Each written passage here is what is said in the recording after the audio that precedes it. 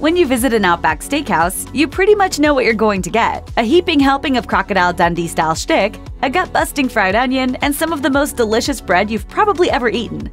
Assuming you've had the strength of will to pass on an appetizer containing an entire week's worth of calories, what should you order at Outback? Sure, they sell other things, but there's pretty much just one thing to get at Outback steak. It is a steakhouse after all, but you still have to choose what type of steak. If you go for a signature cut, there are just four of these the bone-in natural cut ribeye, the Outback Center cut sirloin, the ribeye, and the Victoria's filet mignon. So, which one of these is best?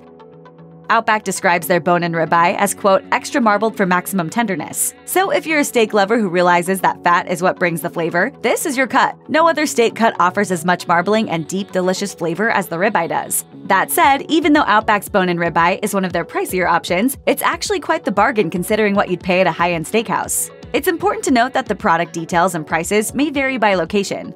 The Outback menu we looked at says this steak weighs in at a whopping 18 ounces, which is big enough to feed two people unless you've both got enormous appetites. While Outback may frown upon plate splitting, as many restaurants do, you could still have your steak eating partner order something smaller and cheaper and then take the second entree home for later. The bone-in ribeye, however, is just too good to let a single bite grow cold on your plate.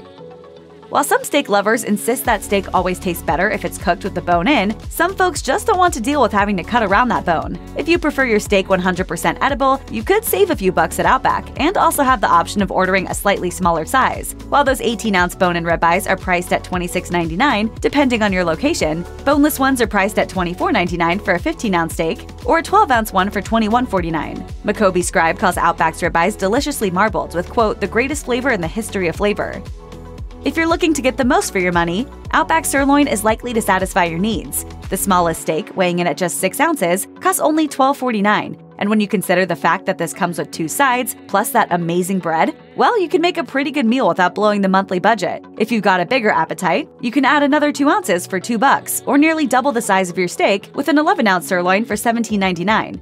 Hi, I'm John Halapio, a professional football center, and this is Centers eating center cuts. So, how does the sirloin taste? Esquire's reviewer found it, quote, watery, and the Chicago Tribune said it was, quote, surprisingly lightweight on flavor. Other reviewers have been far less harsh. One TripAdvisor review said the steak was perfectly grilled and tasty, while another said the steak was tender and seasoned nicely.